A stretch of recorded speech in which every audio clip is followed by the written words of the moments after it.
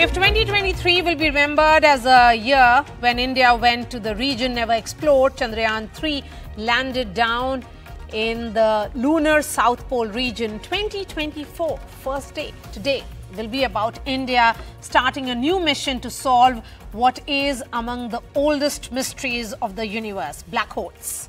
The 260 ton rocket carries an advanced astronomy observatory meant to study black holes and neutron stars. With this, India has become the second country after the United States to have such a specialized observatory of this kind to study black holes.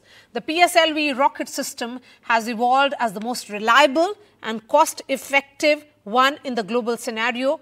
The XPoSat satellite cost around uh, 250 crores, which is approximately $30 million the NASA IXPE, which is on a similar mission since 2021, cost $188 million. Remember, India's is just $30 million. The Indian satellite is expected to last more than five years compared to the two year lifespan of the NASA IXPE. Let me bring in my guest now. Pallav Bagla is a senior journalist. We have uh, Dr. Lizy Abraham, uh, principal investigator, WESAT. Tarun Souradeep is director of astronomy and Astro astrophysics physics at Raman Research Institute.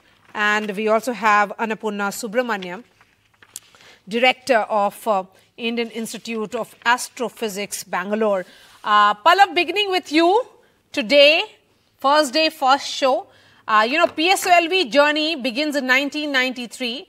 Uh, and, and it's about one history after another, after Chandrayaan and Aditya L1 mission by the Indian Space Department. Today was another day. Oh, certainly. A glorious beginning to 2024.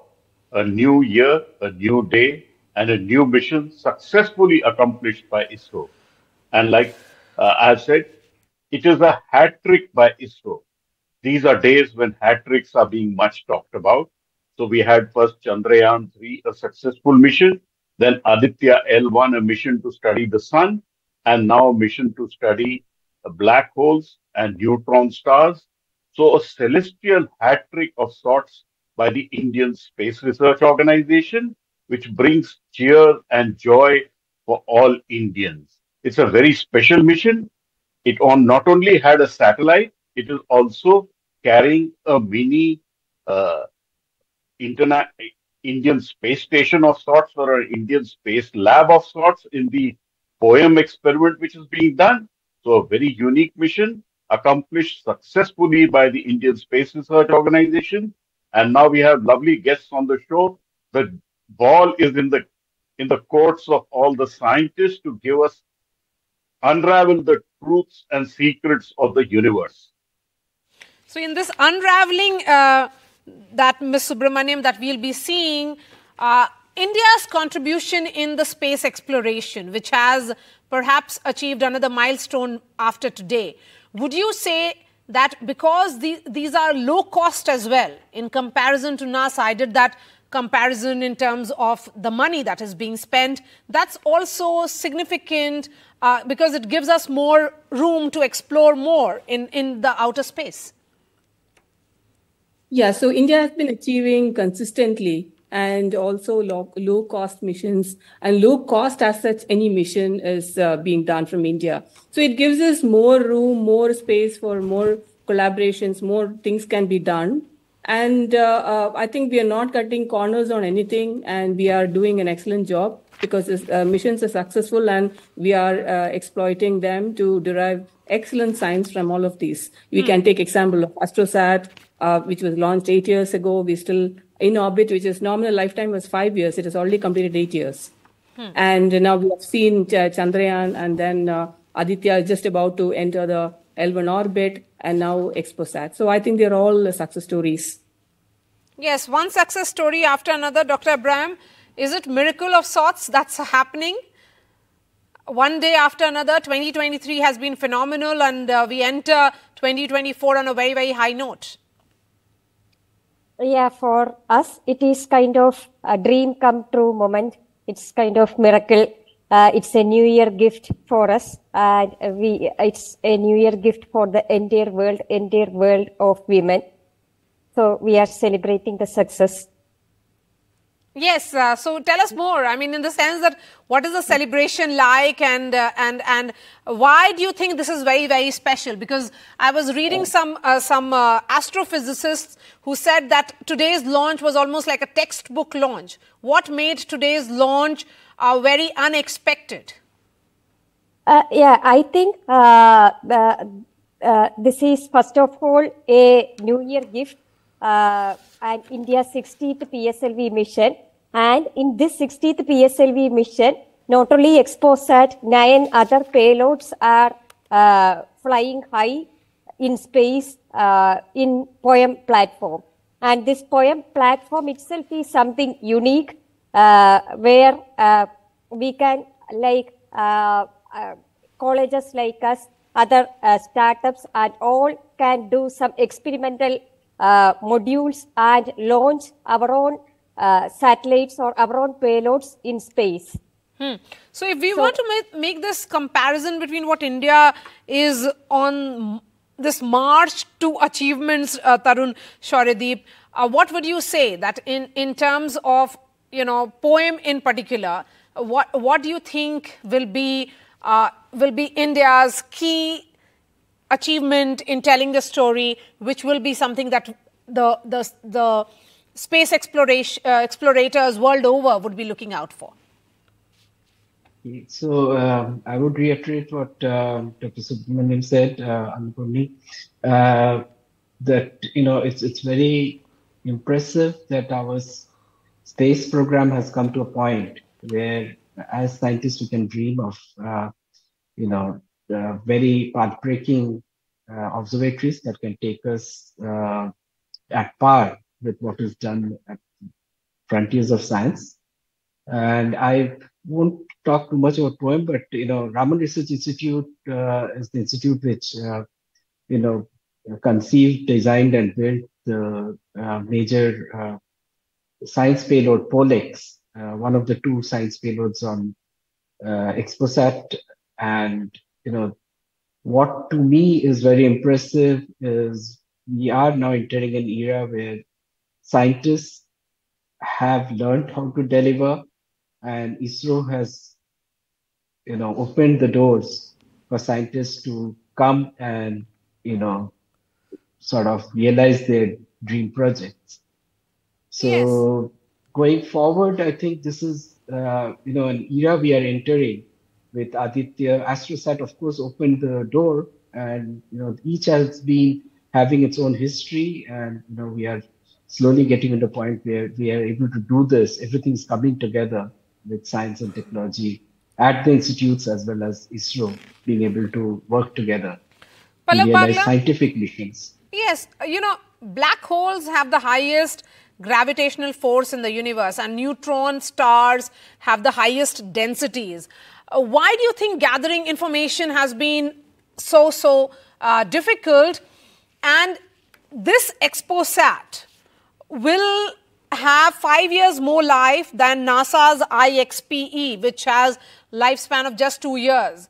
Uh, do you think that because it will be around for far, you know, three three years longer than what NASA had option of, it will be able to gather more information? Uh, so it's uh, not really a race for information. information. Oh, I'm sorry, uh, Pallav. Yes, yes, Pallav Bagla. Yes. India's XPoSat should be able to gather a lot more information. Uh, there are 50 celestial objects the Indian scientists have identified, which are neutron stars and black holes and the adjoining areas which they want to study. So five years is a long time. They will get an extended period to study and unravel some of these mysteries and secrets.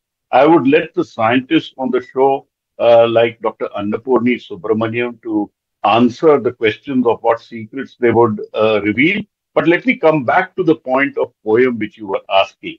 A POEM is a very special part of the polar satellite launch vehicle. Usually, the fourth stage of the polar satellite launch vehicle, which is a four stage vehicle, would have become space junk and would have burnt out in space after a while.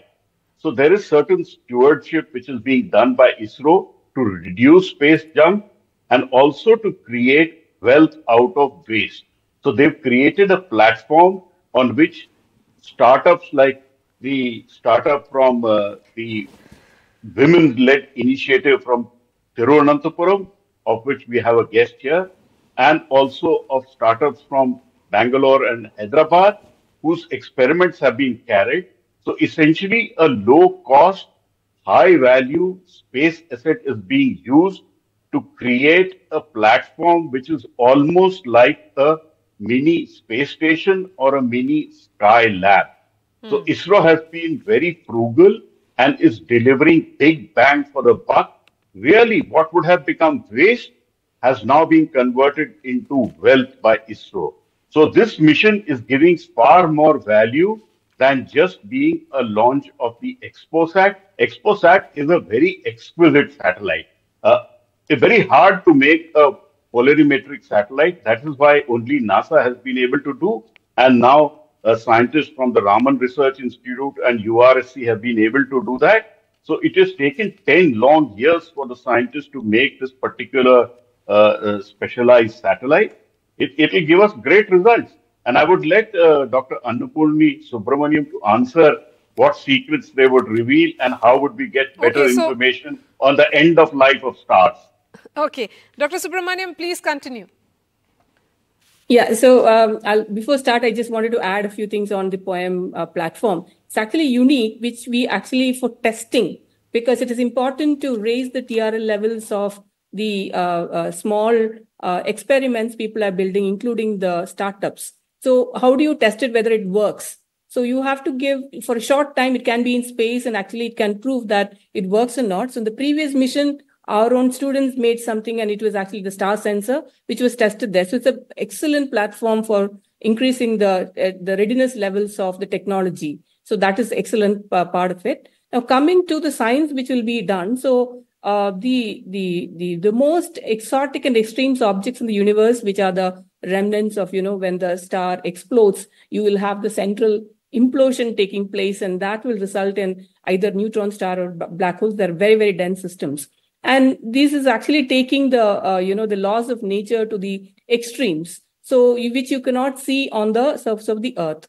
So if you want to study things around them we cannot see them directly. We have to infer through the radiation which is coming from the surrounding region. And this is very highly complex and uh, x-rays are emitted only from the extreme uh, conditions like it can be extremely hot or uh, a strong magnetic field etc now, probing these are indirect. There are no direct probes to it. So we used to, I mean, in, in AstroSat also, we have X-ray payloads which actually take images of it. But over and above, what you need to do is that if you want to probe the physics, then you need to know how exactly these X-rays are produced.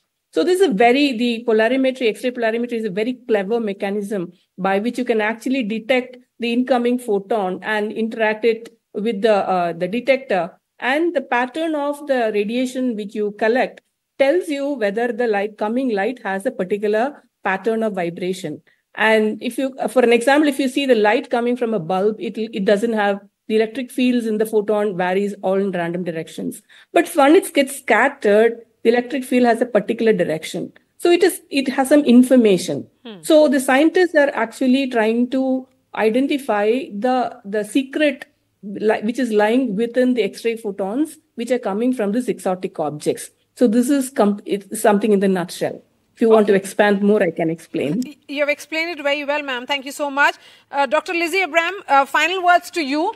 Uh, you know, we have seen women led missions, and now another, uh, and it gives me immense pleasure, and I'm honored that I have two women on this panel who have played a crucial role uh, in, in this entire mission. So, what was the moment like, Dr. Lizy? Yeah, we are really excited and thrilled because being a only women engineering college, women led team, we faced so much difficulties. It was too difficult to convince others because being an average engineering college, we want to convince others to get funding. Uh, so it was too difficult and we started this journey on the year 2018 and it is nearly five years. And uh, uh, first year we have developed this idea and then this COVID pandemic affected. And then again we have to restart everything and then uh, being an engineering college every year one batch of students uh, get passed out. And then I have to groom another batch of students. And it's kind of again uh, another difficult process. And uh, sometimes it got stuck because of uh, manpower because of funds and all. So now uh, on this new year when I look back based on all the challenges I have faced I feel uh, quite overwhelmed and uh, uh, sometimes I am uh, too much emotional. And now me and my students are really excited and thrilled. And now I am on the way back to my home from Sriharikota. Yes, it's, it's fascinating. I mean, five years ago, this journey began, uh, Dr. Abraham, and look what you have achieved. Many who did not have faith in your dreams then, you know, continue to invest and look. Uh, so, what next for you? Tell me about that. Yeah, uh, actually, uh, as I said, this is an experimental module like uh, for engineering colleges like us and startups like other startups. They can just try this. And uh, but this is kind of a unique mission because we are measuring ultraviolet radiations in space, uh, like the XPOSAT measuring X-rays. And uh, is kind of self-powered payload and uh, out of all the payloads, we are the first one got the telemetry data. And uh, from uh, because AWACE is self-powered, uh, just after opening the uh, separation of the heat shield, we got the data just from uh, around 100 kilometer above. So from 100 kilometer to up to 650 kilometers throughout the transition of the rocket, we got the data, UV data, which is kind of unique. So the next step is obviously uh, making a standalone satellite to uh, study the ultraviolet radiations and how it impacts um, uh, it's uh, how it impacts climate changes and uh, warm weather conditions, particularly uh, tropical states like ours. Thank you so much, Dr. Abraham and Dr. Subramaniam. Honor and pleasure to have you on this show. Pallav Bagla, always a pleasure. Thank you so much. Uh, Tarun Souradeep, thank you for explaining this story and putting this in context for our viewers.